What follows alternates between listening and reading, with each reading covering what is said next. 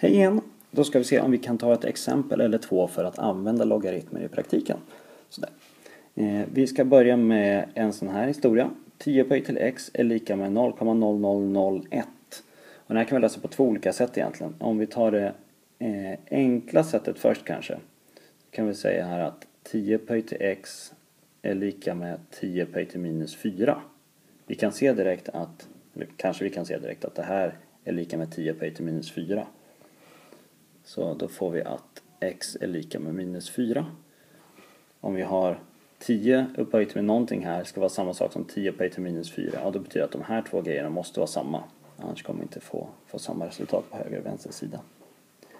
Ett annat sätt att se det här är att vi har här faktiskt ett tal som vi skriver om till en 10-potens.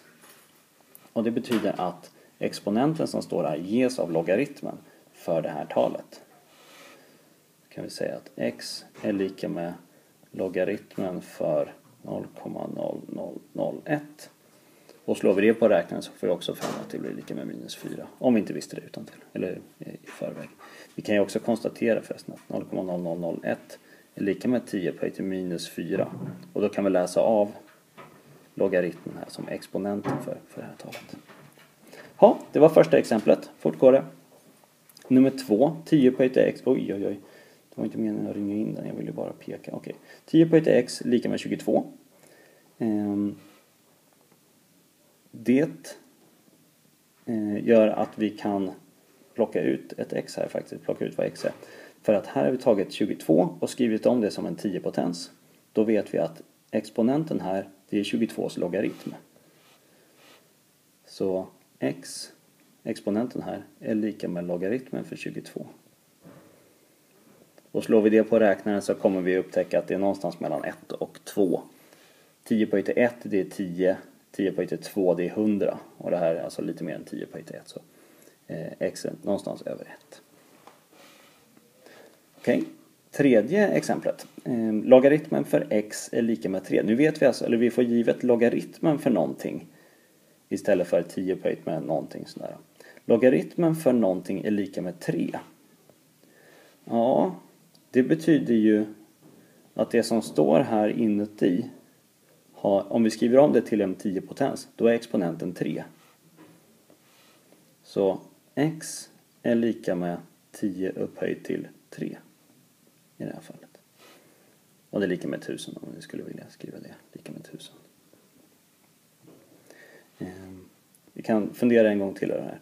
Logaritmen plockar ut 10 exponenten för någonting. Om vi skriver om x som en 10 exponent, eller 10 potens, 10 potens, då är det här exponenten. Om vi tar logaritmen för det så plockar vi ut exponenten. Så det som måste stå här inuti, det är 10 upphöjt med 3. Så x, det här som står inuti, är 10 upphöjt till 3. Vi ska använda det tankesättet här på nästa exempel, det sista exemplet också. Vi tar logaritmen för någonting och det är 7,2 då måste det som står här inuti vara 10 upphöjt till 7,2. För om vi tar logaritmen för det så säger logaritmen, ja 10 exponenten här, exponenten för det som står här, det är 7,2. Okej, okay. 2x är lika med 10 upphöjt till 7,2. Ja, då är vi nästan i hamn. Om vi delar det här med 2 på båda sidorna så får vi att x är lika med 10 upphöjt till 7,2 delat med 2. Och det här kan inte jag ta i huvudet vad 10 på 7,2 blir.